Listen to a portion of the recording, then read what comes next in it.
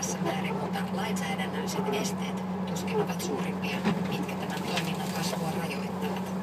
Myös sekä naiset että miehet ovat yhdenvertaisessa asemassa asioidessaan islamilaisissa pankeissa. Raimo Pyykkiluodon vieraanaan Helsingin yliopistossa islamilaisesta pankkitoiminnasta väitöskirjaa tekevä Ilja Kokkonen. Ohjelmassa kuullaan myös Suomen islamilaisen neuvoston varapuheenjohtaja ja tiedottaja Pia Jarlin näkemys siitä, miksi länsi